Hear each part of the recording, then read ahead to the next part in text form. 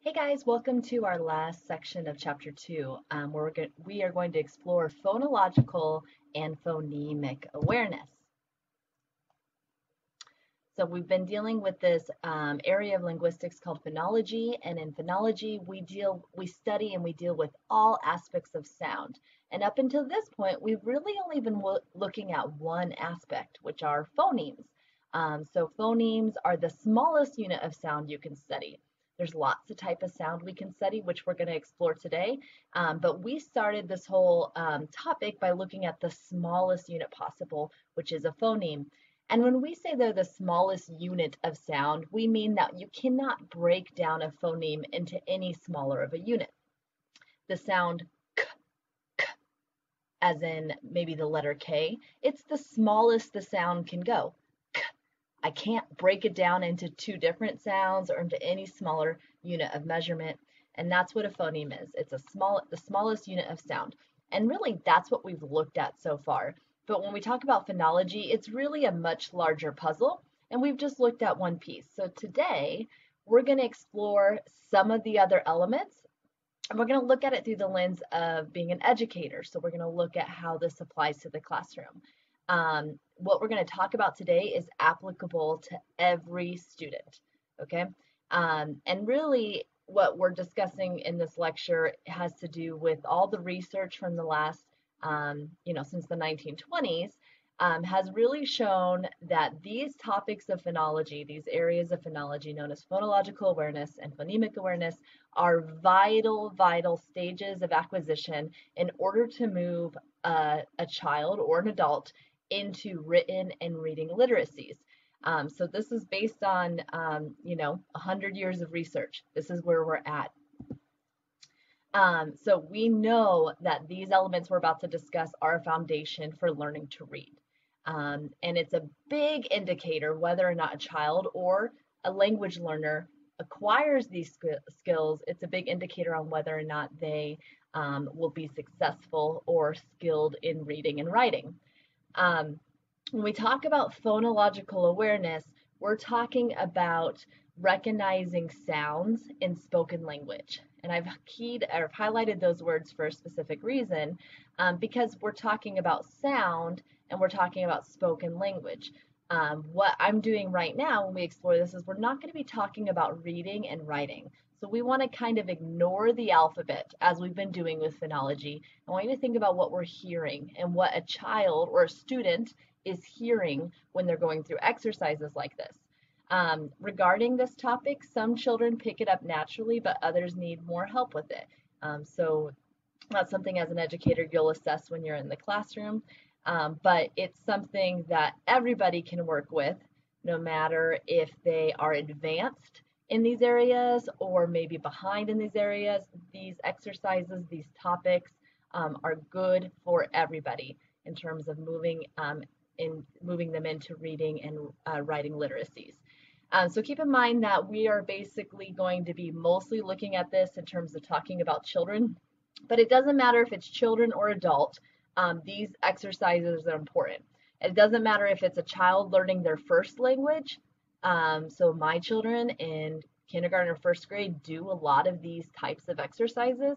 Or if you're an adult trying to acquire a second language, this skill set is still um, vital to moving um, you further into the language, especially with reading.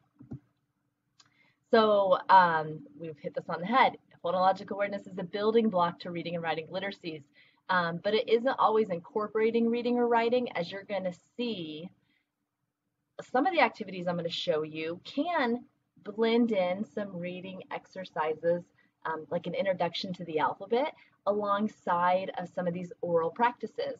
Um, but I'm going to focus mainly on how it doesn't have to include that and it doesn't have to include reading components um, to still be practiced. Um, so when students learn to map sound to certain letters, right? So they see the letter K and they give it the sound K, K, K. Okay, that's called phonics, and that's something we're going to get into um, with uh, chapter three in orthography.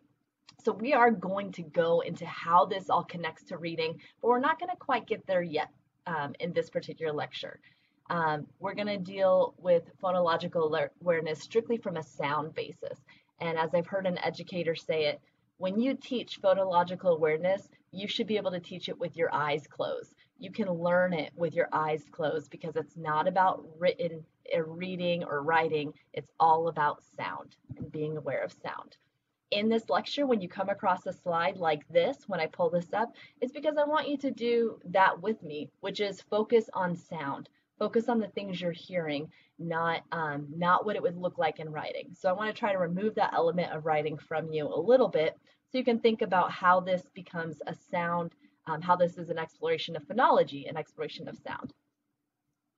So phonological awareness encompasses five components. Um, and we're going to explore each of these more in depth, but here's like a working definition for each of them. So we have sentence segmentation, syllabification, word stress, intonation, and phonemic awareness. Um, and all of these fit under this umbrella called phonological awareness. So when someone's talking about phonological awareness, they could be talking about any one of these five facets. And so we want to remember phonological awareness is an umbrella term for these five things. Um, the reality is, is in phonological awareness, we have these five core areas. Some of them are much easier for your students to learn than others.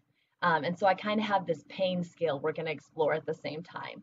Um, so sentence segmentation, for example, is going to be much easier for a, a learner to grasp, um, where phonemic awareness gets much harder. Um, so I have a pain scale, like when you're in the doctor and you're like, how bad does it hurt? Is it a, was it level five pain or level one pain? Um, that's what the learning experience can be like, is pain sometimes. So, um, so I also, I've taken these little characters and I put them on the slide with the phonological awareness topic so you can keep that in mind as we go through which ones are easier for your students and how they progressively get more difficult. We're going to start with the easy one though, which is sentence segmentation. So um, again, we're dealing with sound, right? So in sentence segmentation, this is presenting the student to this idea that um, sentences are made up of individual words. Um, and that sounds easy to you, right? A sentence is made up of multiple words. But at some point you didn't know this. And here's why. I want you to listen real quick to me saying these sentences. Do you know what time it is? My sister reads a book. I like ice cream. Okay, so now you've kind of experienced what children hear, which is these oral sentences, right? And this is what I just said, written phonetically. Do you know what time it is? My sister reads a book. I like ice cream. So how do we get from here where a child or a language learner hears a sentence as this big jumbled uh, uh, mess of sounds put together, right? Um, how do we get from here to here? Bringing awareness to the listener that this big jumbled, do you know what time it is, is actually made up of individual words. Do you know what time it is? And that's bringing awareness, um, that's sentence segmentation. In spoken language, we don't have blank space um, as we do in a written sentence, right? So if I'm going to write out, do you know what time it is? I'm going to put a space in between each word, which helps indicate that these are individual units, these are words. Um, but we don't have that in oral language. Um, nonetheless, this is something that we have to sometimes teach children. Now, the reality is, is some is it's typically a very easy thing um, to teach. Um, most children that have um, standard learning habits, so I'm not talking about children maybe with with a um, with some learning disability, um, but most children will be able to get sentence segmentation very easily. But real quick, I'm just going to play a short snippet of this video clip so you can see how this is actually taught in the classroom. He ran home. Say it. He ran home. Tell friends. Now let's count how many words we're on. Say it again. He ran home. How many words did you hear? Three. Now let's map it. Use your tiles. He ran home. So again, sentence segmentation, by far the easiest phonological awareness concept um, for a student to acquire. So let's progress into something that's also slightly easy for students, but a little more challenging than sentence segmentation. So in sentence segmentation, we're bringing this awareness to the fact that sentences, these big long utterances, are made up of individual words. And now with syllabification, we need to show the students that words are made up of syllables okay? And you're familiar with syllables because you are an adult using English, which is a language you're comfortable with. Um, but to talk about it linguistically, we have monosyllabic words, and those are words that are made up of one syllable. Mono means one, right? So, friend. We have two syllable words, which we call disyllabic. Disyll, disyllable, but oh my goodness. to die means two. Friendly. And then we have three syllable words, which is multisyllabic um, or syllabic. Now I'm confused on how to pronounce it. Friendliness. Okay, so those are concepts that are not complicated for you. But let's take a look at how this might look in the classroom. Listen to how I count the beats in my name. Miss, Sis, Ken, go. I hear four beats in my name. If we go around the circle, let's see how many beats you have in your name. Maya, can you count the beats in your name? Maya. Maya, how many beats did you hear in your name? Two. Two. You heard two beats in your name. Maya. So you can see this is how um, they're bringing oral awareness, um, or through an oral, oral method, bringing awareness to these children that these words that they use are made of multiple units. They're made of syllables. Um, but we're going to dive into what a syllable is a little more structurally from a linguistic perspective. Um, so a syllable has structure to it, and it's actually it's basically like a math equation, or it's made up of units. Um, a syllable has a nucleus, which is the center of a syllable. Keep in mind, we're talking about syllables, not words. Okay, so a word can have more than one syllable, and in each of those syllables, we have the core, which is the nucleus, and it's usually always a vowel. And when we talked about vowels in our lecture um, on phonemes, we talked about how central they were. And we already kind of brought up this concept that they are central to the syllables in English. Um, syllables usually have an onset. So it's everything prior to the vowel in each syllable, everything prior to the nucleus. They have a coda, everything after the nucleus in the syllable. And then the nucleus plus the coda make the rhyme. What do I mean by rhyme? Well, I literally mean rhyming, hat, bat, mat. Okay, the nucleus and coda make the rhyme. Let's look into this a little closer. Let's take a monosyllabic word, back, back, one syllable. And let's look at it from this decoding standpoint. So um, every syllable has a nucleus, which I told you is a vowel. So again, I want you to ignore spelling and just think about sound. B, a, k, a is my vowel. Okay, that's the center, literally, it's the center of that word, um, that syllable, that word. Um, now, ignore the fact that it's spelt with four letters because if we're talking about sound, you only hear three sounds. B, a, k. So literally in that word, the nucleus is the sound a, which is a vowel. So that supports our whole um, notion that the center of the nucleus is a vowel. Um, we have an onset, and remember, an onset is onset is everything before the nucleus.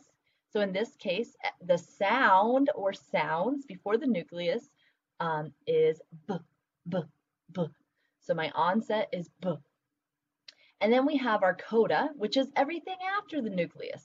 Um, and so we have k, k, k. That is our coda.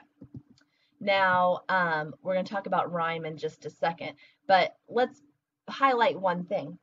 Every syllable has a nucleus absolutely every syllable, doesn't matter how many syllables are in a word, every syllable, I guarantee you, has a nucleus, which is a vowel.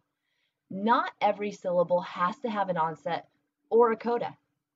Some syllable, like think about the word the, the, the. I'm telling you the uh, uh is the nucleus, but there's no coda. There's nothing after the uh vowel sound. Um, so you need to be open to that, that everything has a nucleus, but not every syllable will have an onset, and not every syllable will have a coda. So this word is a perfect example of that. I. I went to the store. I. The phoneme there is I, I. There's no onset to this syllable, right? The word I is a single uh, monosyllabic word. There's no onset and there's no coda, okay? But it has a nucleus because the nucleus is central. When we talked about rhyme a minute ago, bat, hat, oops, excuse me, bat, hat, and mat, um, we were talking about the nucleus plus the coda. So let's look at the word back. The nucleus is a, and the coda is k. So when I add those together, I get the sounds ak, ak. So if I were to say to you, um, tell me all the words that you can think of that rhyme with back, right? Uh, back, lack, sack, tack, okay? And it doesn't matter how we would spell those words using the English alphabet, we're talking about sound. And if you were to take each of those words and break it down by onset, nucleus, and coda, you would find they have the same nucleus and the same coda. Um, because that's what creates a rhyme, is identical nucleuses and codas. Um, and that is our rhyme scheme. Um, but let's take another step forward and talk real quick about words that have more than one syllable. So we've got the word backpack. Okay, and so I've broken down back. We just did that in the prior slide. And now we can break down the second syllable pack. P is the onset, a is the nucleus, and k is the coda. And then the rhyme is the nucleus plus the coda, so we've got ak. So, just to illustrate, back, pack, rhyme, not because the onset's similar, but because the nucleus and coda rhyme. And we can get a little more complicated. We've got a word like coffee, right? Um, it's going to look a little confusing to you because um, you're like, okay, coffee, there's no coda from the first syllable, but both F's represent the onset. So I want you to ignore spelling because we're going to get to that in orthography. But if you think about the word coffee, ka, fee, the onset of the first syllable is k, and the nucleus is ah. It has no coda because the vowel is the nucleus, right? And there's nothing after that coda. Um, and then we've got fee, e. Again, there's no coda there. Um, so that's a little bit of how we structuralize syllables and the science that's going behind there and how we investigate them. Um, there are some uh, challenges too with this, right? So informal and formal conversation. Um, I got to tell you, I would argue that most of us in general conversation say coffee I'm going to get a coffee. But the reality is, the actual syllable structure should be coffee, coffee. So that's um, the science behind English there is that when there's the double consonant in the middle, that they split the syllable, right? Coffee. Or what about the word letter? Do you guys ever say letter or do you say letter, right? So you're going to have some struggles here in the classroom when you're teaching some of this uh, syllabification because typically what we say in oral conversation doesn't actually match with formal English, right? Because we're speakers of the language, so we always try to get really efficient. And we can get efficient with words like coffee and letter by actually taking off a consonant sound. Um, it's also really interesting because we're talking about syllables, right? But um, let's take the word about about. Okay, that's a two syllable word, but most of the time when we're having an informal conversation, we will actually cut off a syllable. Um, I'm about to head to the store. I'm about to head to the store. So I took off a syllable. I took off the uh first syllable in the beginning um, because we're very efficient. And whenever we speak, I might say this many times throughout the semester with you. We will do everything we can as language, uh, as uh, speakers of English or speaker of whatever language you're using to be efficient. And that sometimes involves omitting sounds completely. So we have to be aware of this as educators because you will do that in the classroom. You have to be cognizant about what it is you're you're modeling, right? Because we want to model um, uh, not necessarily informal style, but a formal style conversation. So what does syllabification help with? Okay, why does it matter that we're breaking down apple turkey. um, first of all, um, you know, we know, you and I know as educators that the center of every syllable is a vowel sound. So working with syllabification with your students helps them recognize these vowel sounds, okay? It's not explicit, but um, they are implicitly beginning to hear how the vowel is a very central feature of each syllable.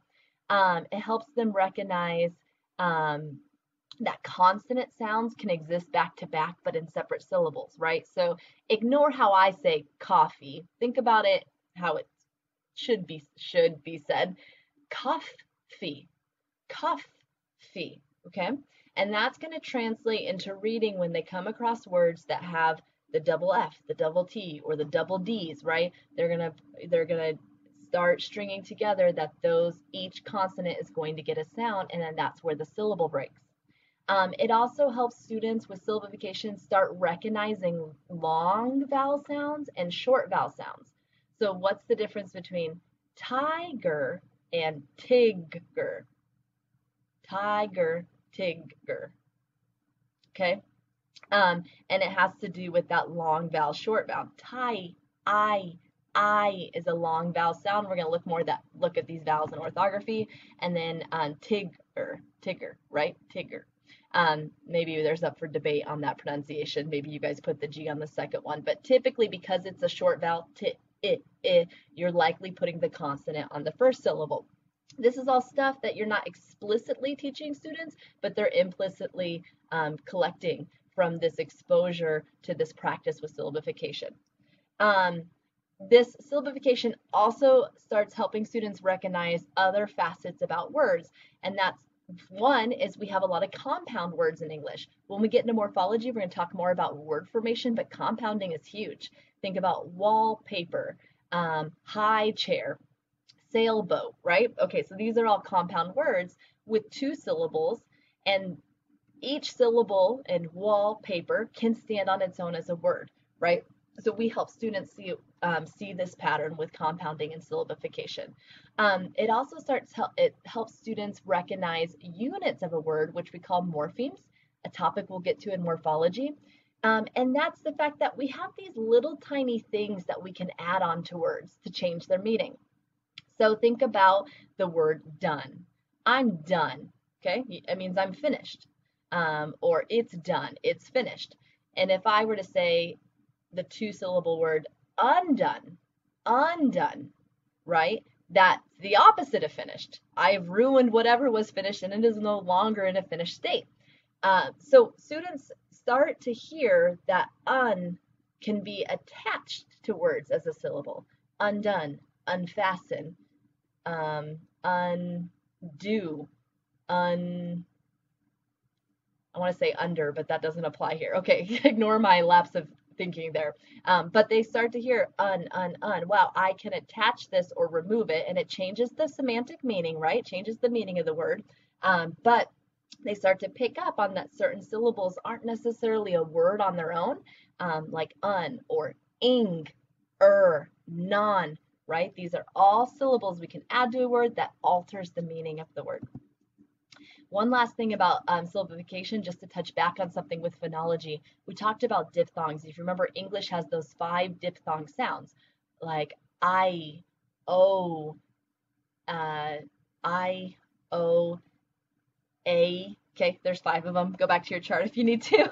um, and we had this little brief discussion, or I did with you on this computer, that don't those sound like two sounds, right? If I go, oh, oh, I'm moving my mouth seemingly producing two sounds. But we consider it one sound. And why is that? Well, because I told you they're always in the same syllable. So let's look at this uh, monosyllabic word mo, mo, mo. It has the diphthong in it and it's a one syllable word. Let's look at a two syllable word, highlight, highlight. Okay, both syllables have that diphthong in there. And so you can see how the diphthong is always constrained inside as the nucleus of the syllable. If you were to identify the onset nucleus coda, you would find that diphthongs are always the nucleus of a syllable, which is why when they sound, maybe like two sounds, they're considered one because they're central to the syllable. If you have extra time, you can take each of those words and think about the syllables and break down whether you think they're monosyllabic, disyllabic, um, and what would the onset be? What would the rhyme be? Um, if you'd like to do that, go ahead and pause. Um, otherwise, I'm going to show you the answers real quick. There you go. Okay, let's move into word stress. Um, this is one of my favorite ones. This is, okay, so we, sentence segmentation. Blowing the, you know, blowing their minds, letting them know that um, sentences are made up of words. Okay, cool. And then we go into syllabification. So now we're telling our students, well, these words are made up of smaller units, which are syllables. Um, and now we're trying to, now we're moving into this word stress part where it's like, well, it's not just syllables that are important. Um, sometimes syllables can take varying degrees of stress, meaning they get different emphasis, right? A little different oomph behind them. Um, so we, um, we have the primary stress. These are just tech linguistic terms you don't need to remember, but they're the one I would say remember is that um, a, a disyllabic word, word with more than two syllables, likely has a primary stress. One of those syllables is getting a little more emphasis than the other. And sometimes this word stress um, can alter the meaning of the words.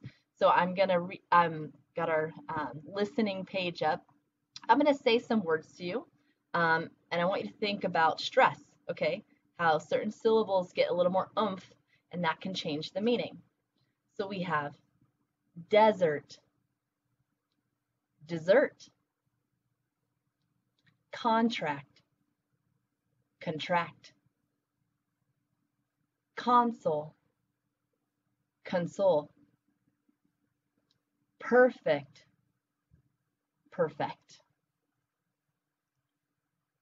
So here's what I just read to you. Notice anything about these words? They're absolutely spelled identical right? There's no spelling difference between the two. But how do you know the difference between desert and dessert? Because primary stress, where we're putting that emphasis on what syllable changes the word. Um, if you had time or we were in class together, I would have you actually define each of these words and um, think about which one you're giving the stress. So, um, uh, I want some dessert, or um, I uh, he was deserted. I desert him on the side of the road. Okay, so there's different stress going on there, even though they're spelt the same. So I want you to think about what those two words mean and how they're used. So I have an example there of um, progress, progress. Um, so let's progress, and then there's progress, progress.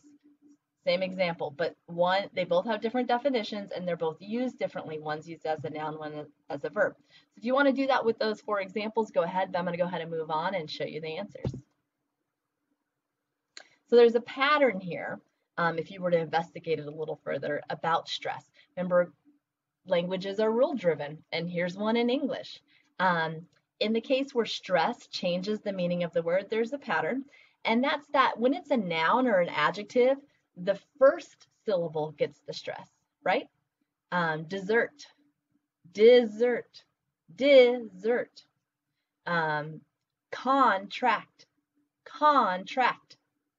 Um, console, console. Um, uh, perfect, he is perfect, okay? As opposed to, we don't say he's perfect, he's perfect. No, he's perfect. Um, subject. That's my favorite subject. Okay. Conversely, we go to the verb side. Um, dessert. Um, no, I said that wrong. no, dessert, dessert, dessert. Contract, contract, contract. Um, console, console, console. Uh, perfect, perfect. And then um, subject, subject right? So we have subject. It's my favorite subject. Or um, I subject him to a life of torture. Okay. So word stress is super important. And I will also say that for many of you, this is probably the hardest one that we're going to cover today because I also have a very hard time hearing it. We've learned the language, we know the language. I have a very hard time hearing stress. So I'm giving you these examples because telling you it exists. Um, let's take a second here and watch a quick uh, clip of how this might look in the classroom. During this activity, the learners stretch rubber bands on the stressed syllables of the vocabulary words to help them produce the correct stress pattern. This highly controlled production activity builds awareness of stress patterns in vocabulary words, and the kinesthetic nature of the activity supports learners develop physical control over the production of word stress. If we say work, work, work. work If we say children, children, children, children. What about provider? Good. Provider, provider. When we stretch the rubber bands, it helps our brain remember. If we only listen, we remember, okay. But if we speak and we move the rubber band, our brain remembers more quickly. So word stress on the one hand, we can put stress on certain syllables and that will completely change the meaning of the word. Um, but stress on a word can also add or emphasize meaning. So I'm going to um, put on our quiet page, our listening page, and I'm going to read, I'm going to um, say these things to you, and I want you to think about stress. I never said he stole the money. I never said he stole the money. I never said he stole the money. I never said he stole the money. I never said he stole the money. I never said he stole the money. I never said he stole the money. Okay? So here is what I read to you. And visually, I've added the stress with the bold, right? Um, as a speaker of the language, you know that that stress changed the meaning right? So what's the what is I never said he stole the money. What does that mean? Well, with the emphasis on the word I, it's indicating that I'm saying, no, someone else has said that. I never said it. Someone else has said it. Um, uh, I never said he stole the money, right? So the emphasis on the word stole. Um, maybe I said that he borrowed it, right? I never said he stole the money. I said he borrowed it. So we're putting emphasis on an important feature so the hearer can hear the additional meaning, um, something additional I'm saying by emphasizing that word. So this also falls under word stress. And it can be very difficult um, for students. Um, we want to move into intonation patterns. Okay, so this one's really fun. Um, and this is, okay, so we moved from stress, which is that we can emphasize a word or a syllable and that can modify the meaning, right? If I say perfect or perfect, the stress on the syllable changes the meaning of the word. If I say, I never said he stole the money, I never said he stole the money, the stress on those individual words adds additional meaning to what I'm saying because of that stress. And then we have this layer of knowledge where students also need to be able to hear intonation. And this can often be hard for children, um, especially young children, um, but it's also hard for someone who, it, culturally, it can be difficult for those new to a language. So intonation has to do with the pitch or the moving of the voice across a phrase or a sentence. So I'm going to go ahead and read these to you so you can hear what I mean. I like ice cream. I like ice cream. I like ice cream. Let me do that again. I like ice cream. I like ice cream. I like ice cream. So what I just demonstrated for you was the importance of importance of tone, of intonation, right? So I actually said the exact same sentence to you the whole way through. I like ice cream. But my tone completely changed um, uh, perhaps how you perceived what I was saying. So if I said, I like ice cream, if you hear it at the end, I'm asking a question, and you can tell that by my rising pitch, right? The question is not set up like a traditional English question, right? I don't start with do or who or what right? It's not in a traditional question format, but my pitch, my tone is what communicates that to you that it's a question. I like ice cream. That rising pitch indicates question. Okay, but I want you to remember that because I'm going to give you an um, show you something in a minute. Um, statements have a falling pitch. I like ice cream. I like ice cream. I like ice cream. Okay, so that cream part, I fall, and that's saying a fact. Okay, and then exclamations are all over the place, kind of like a rising and falling. I like ice cream. I like ice cream. So I'm raising, uh, rising and lowering my pitch all within the same phrase. Um, and so as a speaker of the language, this um, a sentence doesn't mean anything surface level because tone can add a layer of meaning to it, right? Um, I bring this up for a great reason. There was this great work done by Gumperz in the 70s, um, and it has to do with gravy. So in London in the 70s, we had a lot, uh, there were a lot of migrant workers coming in. Okay, so mostly women from India and Pakistan. Um, and they were working, I believe, at the Heathrow airport. And there was this challenge between the native Londonites, right? So these British, uh, native English speakers of British English, and these women from India and Pakistan who were, I don't know if they were uh, bilingual, as in they spoke English, you know, really well, or if they were learning it while they were now new in um, London or Great Britain. Um, but there was a challenge. There was basically a conflict between these two groups. People were not getting along. There was a lot of tension perceived.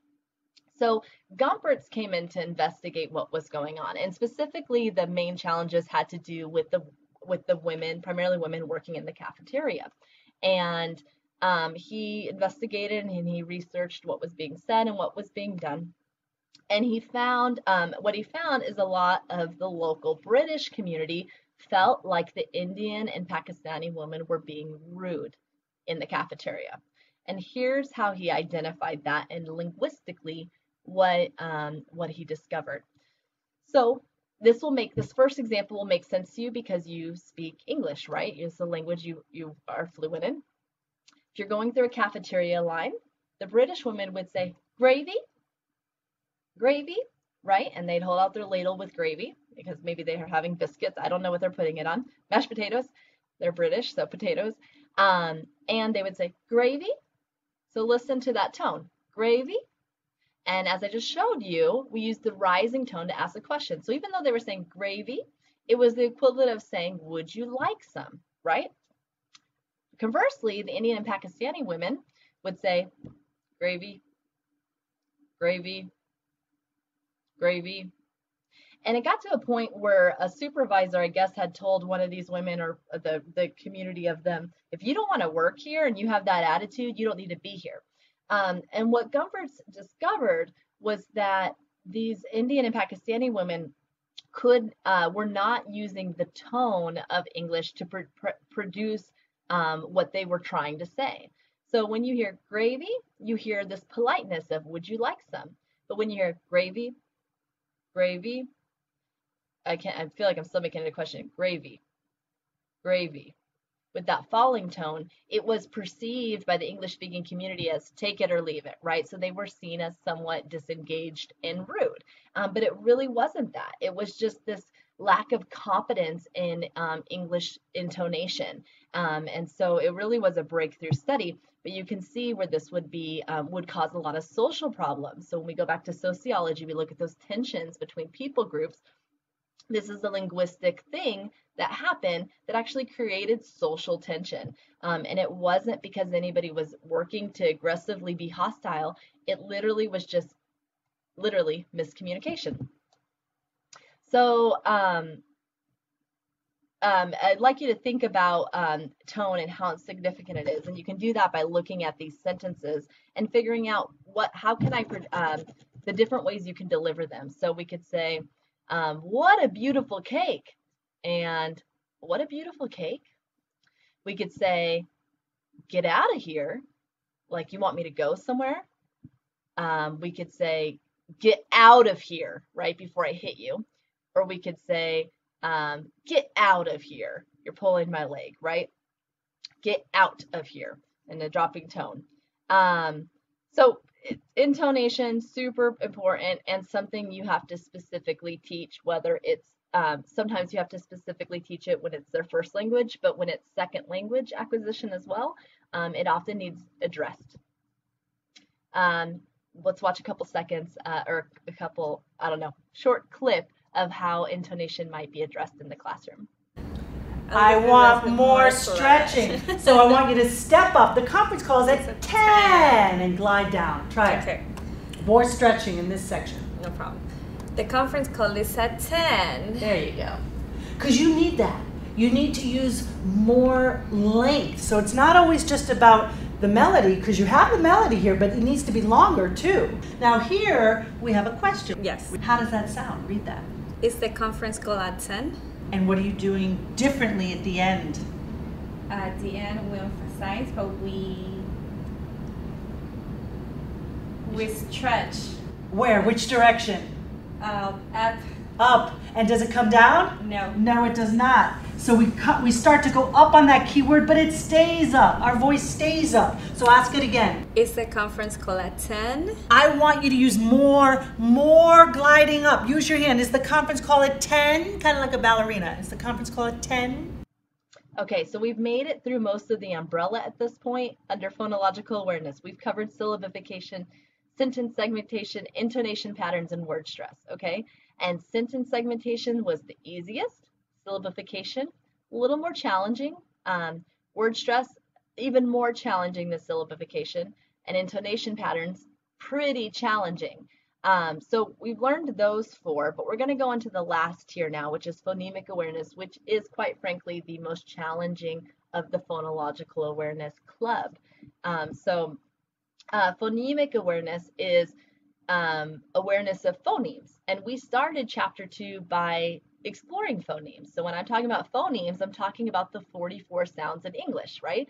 Um, because we're primarily talking about English right now, but um, whatever language it is, um, phonemic awareness would be awareness of those sounds in that language. Um, at this stage, you know, we're no longer talking about individual words in the sense of this sentence has five words or this word has two syllables, right? Um, we're talking about all the sounds that are inside that word. And you have some experience with this after that first part of chapter two. Well, our objective through this is through these next um, phonemic awareness, um, like there's a subcategory in there I'm going to show you. Our objective when we're teaching this stuff is to help bring students awareness of initial sounds, final sounds, and medial sounds. So what do I mean by that? We can look at the word bat as an example. The initial sound is the first sound, b, b, b. And that's one of the easiest um, to bring awareness to with students. I'm going to show you more about this. I'm just introducing these three terms to you.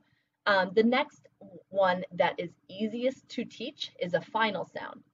So in the word bat, what's the final sound in bat? T, t, t. Great.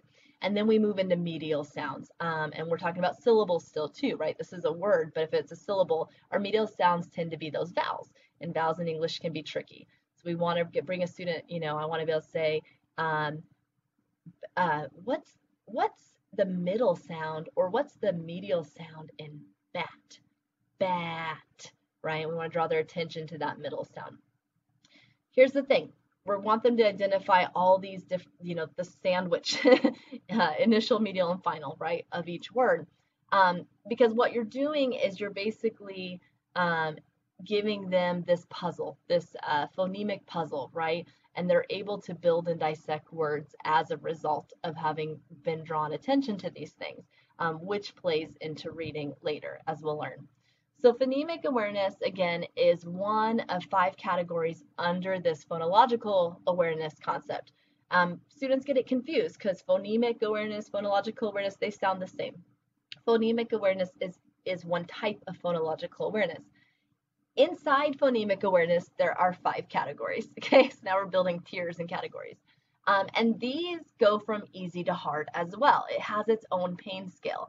So just know all five of these are advanced for children or adults learning a second language. Um, and they're not advanced to where they're impossible to acquire. It's not like that at all. They're just on the harder end of um, phonological awareness. So we're going to start with rhyme recognition, which is the easier of these five, and we'll go from easy to hard, just like we did um, when we started at the beginning of this. Um, so rhyme recognition, um, super easy, right, for you and I, because we know rhyming, because at some point someone taught us this.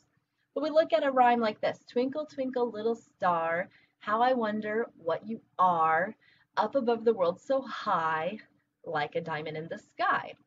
And so we use rhyme recognition to, uh, or we use um, literature like this, maybe not reading it, right, but oral delivery um, to introduce rhyming. And we and it's not natural. My kindergartner, you know, when she was in pre-K, you would read Twinkle, twinkle, little star, how I wonder what you are. Essie, what's the rhyme? Do you hear rhyming words there? And she doesn't know what it is. She can't hear it yet because you're taught how to hear it.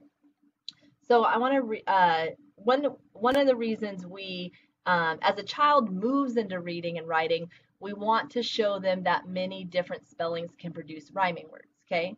So we, we're going to introduce rhyming without, we don't have to introduce it with spelling um, but we do use it to eventually, when we're dealing with spelling, show how rhymes, um, rhyming words can be spelt differently. So these words, for example, snow, depot, go, toe, though. So here's the words I just read to you. Snow, depot, go, toe, though. Um, now, these words rhyme. They actually phonemically rhyme. Okay, if you want to break down um, the syllabification, right, with our little chart that we learned, um, our little graph, you would find that they, the nucleus and the coda rhyme. Um, but spelling wise, look at that variety, right? So we're building students to this point where when they're engaging with reading, um, they'll start being aware that certain sounds can match with a variety of um, orthographic spellings. We want them to hear the rhymes though, despite the different spellings. Okay, that's stage step one. Um, oral rhyming activities. So I'm not talking about reading again. I'm just talking about oral delivery. Maybe, um, and this might look in the classroom like a read aloud, right? So I've got um, a book, a rhyming book, and I'm not really trying to get the students to look at the words, but we're reading it aloud together, and I want them to listen for the rhyming. That's an oral rhyming activity. Um, the more you engage with oral rhyming activities, especially the same literature over and over again, it helps the students make predictions when they start to read. So we look at this.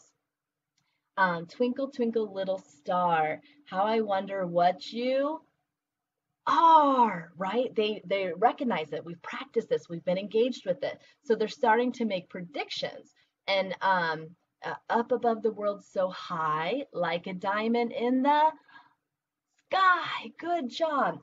And that predictiveness, that habit or that practice of prediction actually will roll into their reading skills when they encounter, if they're in a rhyming book, right? And they're encountering, um, let's say they didn't know the word sky. Up above the world so high, like a diamond in the. Okay, they're to maybe pause, but they're to predict the final sound, the rhyme has to match the last one, right? So they might produce sky. The prediction skills are, um, are super essential. So that's what this is going to help with. Here's also another example of how rhyme might be demonstrated in the classroom. Okay, are you ready to play the rhyming game? Yeah. Are you sure? Yeah. Okay, here we go. Here we go. Ready? Can you make a rhyme? Can you make a rhyme? Can you make a rhyme for my dime? Okay, Rima, what rhymes with hat? Bat. Ah, oh, you get my dime. Oh no, it's a green one, my favorite color. Can you make a rhyme? Can you make a rhyme? Can you make a rhyme for my dime? Liam, what rhymes with mop? Mop. Get my dime! Oh. Alliteration, we're all familiar with that. This is beginning, um, this is when we want to maybe focus on the first sound of a word. Um, we're not necessarily focusing on letters, right? We can use alliteration to introduce letters too, but let's say we're just going to focus on sound. Um, and it builds awareness of initial sounds. So remember, we want to teach initial, um, final, and uh, medial. And initial sounds are the easiest to start with. Um, this is a great way to allow for opportunity for a student to practice a phoneme, a sound that they might be struggling with, right? So here we have the, the phoneme. Let's say that was a struggle for a student. We could practice, you know, this, this alliteration is a little challenging. You wouldn't use this with a young one, but it's a good example of alliteration. Peter Piper picked a peck of pickled peppers. And the practice with alliteration actually helps me to practice, or the student to practice that sound on repetition. Um, we also have like flip phone, right? Flip phone. So when we go into spelling, we can also see how initial sounds might take on different spellings. So flip, the f is spelled with an F, phone, the f is spelled with a PH. Okay, so we can use alliteration on the way to reading to show how initial sounds can be associated with certain spelling habits too.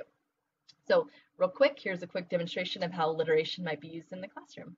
Okay, let's look to see what we have. We have for the letter B, what do we have? Button. Button. Banana ball. Banana and Ball. what sound do they all start with? B, b. Over here with Sarah with the mm, M sound. What do we have? Mouse. Mouse and And marker. marker. Let me hear the M sound. Okay, and with Arlenis, what do we have? What? Eight. And we have a Horse. horse and hat. Let me hear the H sound. Okay, we're on these last three now. We've got three left, I promise. um, blending, again, we're progressively getting a little harder. This is um, where you're hearing separate sounds and combining them into a word. The best way to tell you what that means is to demonstrate it for you. You to listen. What word is this? What word do you hear? B, e, g. When I say b, e, g, what word do you hear? And then ideally, the student is going to say, what do you think? Big, right? Okay, so a reason again that I had that as, oh, pardon me, guys. The reason again that I had that as a blind screen is because that's an oral activity uh, that doesn't involve reading. Um, hearing separate words and combining them into a word. B, i, g. Sorry, separate sounds and combining them into a word. Um, you could do this with any, I seem to use big as an example all the time, but I could say, um, what word do you hear when I say b, a, k? Right? So they hear these three units and they're blending them together. That is why it's called blending. Okay. The next thing we want to focus on is segmentation. So we've had them take sounds with blending and put them together. Now we want them to hear a word and pull the sounds apart. So what might this sound like? What sounds do you hear in the word big? Big. And they might take a minute, but ideally the student is going to produce the ig. Okay? So they'll get there. Initially, a student is going to say something like the ig, the ig, right? They might blur, they're going to put that vowel with a consonant. Um, eventually, they'll get to the ig.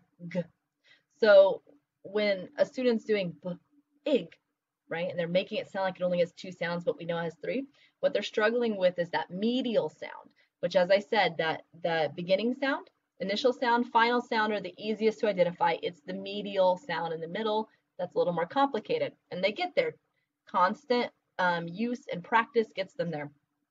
Um, I was I have this example here about my son because again you need to make linguistic observations around you to make things make sense. Um, we were playing I Spy on a drive once, and he said I see something in the air. So, it, the little the clue was a little more arbitrary or abstract than that. And he said I'll give you a hint. Aeroplane, aeroplane. Okay. Um, and it was hilarious because it's like, what kind of hint is that? You just told me what it was. But what I thought was interesting, and so this is when he was in kindergarten, right? So they're working on this stuff at the kindergarten level um, in the Texas schools. That's that's part of the curriculum. Um, and I, I was thinking, I was like, wow, his he's not quite there with segmentation, right? So he has this word airplane in his head, and he's trying to segment it for me the same way I would say, what sounds you hear in airplane? Airplane. And he segmented it as aeroplane. Okay?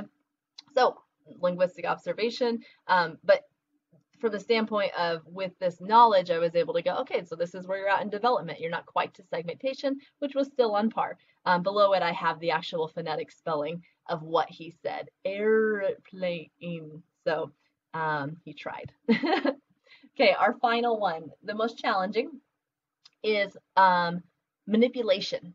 Okay, so we've gone from blending, which is I'm going to give you some sounds and I want you to put them together and tell me what word you hear, um, to segmentation. Um, here's a word. Can you tell me what sounds you hear in this word? And now I'm going to present them some words or a, a word or some sounds, and I'm going to ask them to replace them. So here's what that might sound like. If we change the b in big to p, what word do we have? So again, if we change the b in big to p, what word do we have? And you can guess that the answer, I keep exiting the screen, apologies, um, that the student would therefore um, manipulate this word big, right? By first, they've got to have the skill set to identify the onset, the, the first um, first sound, b, and they need to replace it with a separate one. In this case, the two sounds b and p are uh, very uh, almost articulated the same, right? One just is uh, the voiced. Um, so they've got to replace it and they would say pig, right? In this case, it'd be pig. Okay, um, real quick, I just want to show you a little bit of my time with my daughter during this homeschooling um, time with COVID. This was just a short video clip. Um, now keep in mind that the script I'm using is actually something that school provided us um, to continue the homeschooling education. Um, but it's I want you to take note of how this goes as an educator who hadn't done that with a student before and with a real live student. Um, also the frustration, right? So you're going to see, I just told you this blending, segmentation, and um, manipulation are the hardest levels of phonological awareness. Um, and they're in that phonemic awareness category. And you can see a little bit of that frustration. So um, here is my daughter working on phonological awareness. Okay. Hi. okay, I'm going to say a word and you will help me change out one sound to make a new word, okay? Are you videoing? I want to. Okay. We will use the word dog. D. Og. Can I repeat? Can I write um, on this piece of paper? Well, I want you to say the word first. Dog. Now we will change out the g for a t. What word do we get?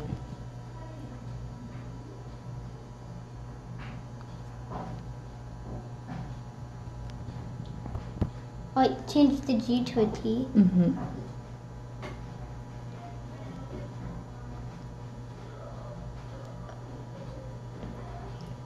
What's our original word? What word are we working with? Do you remember? Dot. It changes to dot. Good job. Like Grandma Dot. It does change to something like Grandma Dot. Okay, what about cat? Cat. Cat. What's the final sound in cat? T. Okay, t, t. And if you change the t to a mm, what word do you get? Can. Good job. What about mad? Mm. And if you change the d to a t, what word do you get? Wait, the M to two. The d to a t. I just forgot what the question was. The word is mad. M a d. Okay. And if you can take the what's the last sound in mad?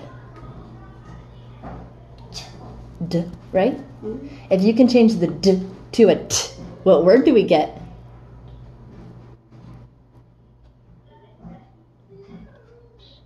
Minute. Yeah, very good. Okay, you want to do one more? No. One more. No. Tag. Tag. Tag. What's the last sound in tag? T. Last sound. What's the final sound in tag? G. And if we can change the g to a p, what word do we get? Tap. Very good, Essie. No more. Okay, a quick summary. Um, phonological awareness is an ongoing thing. Everything we just did doesn't stop the moment the child knows how to read the alphabet or read sight words like cat and hat. It doesn't stop there. It, it's ongoing. In fact, once a child um, is in that uh, later kinder, but first grade especially, and the reading um, curriculum is picking up, they will continue these same phonological exercise while tying it to reading because it's ongoing. It doesn't matter if your student um, is good at a category or good at one of these phonological awarenesses, uh, awareness activities, or if they're struggling with it. It is good for every student, and the research proves that. Um, I also want to point out that in almost all the YouTube videos I used for this lecture, notice how reading or letters, like using the alphabet, didn't really um, play a part in it, right? So we can, again, what I started with in the beginning is that phonological awareness can be taught with the eyes closed. There's a place to start where reading doesn't have to come in yet. When we look at how these exercises connect, um, when we start connecting phonological awareness to reading and to the alphabet, right, then we're going into, we're moving slowly away from phonological awareness and into phonics. Okay, it's another category called phonics. Um, and we're going to look more at this then when we get to orthography, which is when we're going to be looking at the alphabet and how writing and reading um, play into that. So what is after phonological awareness? Phonics. I want to end with this, okay? Um, here's a practice TEA question that I'm going to pose to you guys, and on the next screen I have the answer, but for now I'm going to read it to you. Oral rhyming activities are most likely to promote phonemic awareness by helping a child to learn what? A. Attend to the sounds shared by words in the same word family. Identify the junctures between syllables and spoken words. Recognize how the structure of words relate to its meaning. Identify spelling patterns that correspond to specific sounds. Oral rhyming activities are most likely to promote what? Okay, I'm going to pause it if you'd like to think about it, but I'm going to show you the answer. So this is actually the answer. Now, I've got to admit, I think this is a challenging question. Okay, so based on all my um, research on phonological awareness and basically this divide between, yes, it's a bridge to reading, but we can we start it without going into the reading. I think that this question is challenging. But let's discuss why we know some of these aren't the answer. Um, let's start with C. So we're talking about oral rhyming activities, and we're talking about the um, twinkle twinkle little star how I wonder what you are. Okay, it's a rhyming activity. Um, recognize how the structure of a word relates to its meaning. So C. Um, we're, that's definitely not what we'll be discussing because when we talk about meaning, we're talking about semantics. And we really didn't mention that at all in this lecture. Um, we haven't, we barely, we, uh, we talked about structure of a word a little bit with like the rhyme and the nucleus and coda, right? Um, but we didn't therefore say, you know, because sky ends in a Y, it means this, right? We're not there. So that's definitely a nonsense answer. Um, we could um, look at B, identify the junctures between syllables and spoken words. Um, well, having looked at phonological awareness, syllabification and rhyming were two different things, right? They're all under phonological awareness, but we spoke about those as two different categories. Um, we didn't correlate syllabification and um, and rhyming phonemic awareness, which is under phonemic awareness together. Um, so that answer is not correct either. The part I struggle with is that A and D both work and neither work. Um, the answer happens to be A. So let's take a look at what the answer is. Oral rhyming activities promote phonemic awareness by helping a child to learn um, learn to attend to the sounds shared by words in the same word family. Um, so it, it does make sense. Um, now, does a student know what a word family is? No. Have we even discussed what that is yet? No, we're going to get that to that in orthography. So this question might make a little more sense there. Um, D, though, identifying spelling patterns that correspond to specific sounds. We're going to rule that out because, again, the reason why we have to narrow down that that is not the answer is because phonological awareness is different uh, you know, phonemic awareness, phonological awareness is different than phonics. Phonics is when we start tying sound to spelling patterns. Um, so that's what you basically need to know to weed out D as an answer and arrive at A. Um, so some of the questions on your Texas exams might be tricky, but we're building awareness and over the course tenure in your program, you'll be getting more informed as well and bringing more um, completing the puzzle, right? We used the puzzle as an example. Okay, that's it for this lecture. Um, let me know if you guys have any questions. Bye.